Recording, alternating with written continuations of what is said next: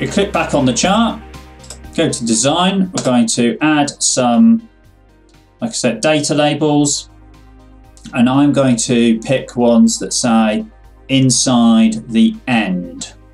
So that certainly is a total mess. I'm sure you'll agree, um, not something we want to be looking at. So we'll click on the series there. And then over on this side of the screen, you can see we have uh, various options on how we can format this. Now, the one thing that we really need to sort out is the number. At the moment, it's a general format, and we could use, um, say, a number format with no decimal places. Uh, if we do that straight away, that's a small improvement.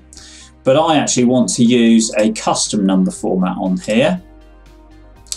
And I pre-entered this custom number format.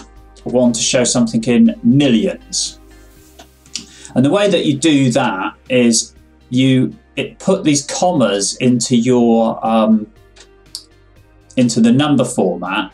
And every time you put a comma, but put nothing in between, it says, well, I'm not going to show the next three numbers.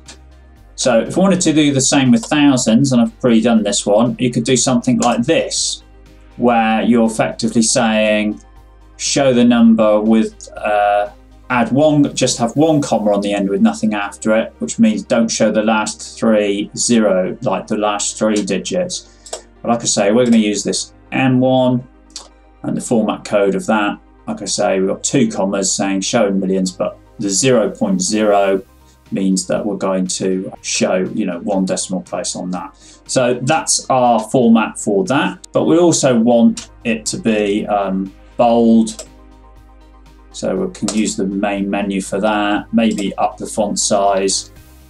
I think, you know, we'll colour it in white. Now, of interest, you would think that you'd be able to do a format paint and just click on there, but for some strange reason, it, re it really doesn't work.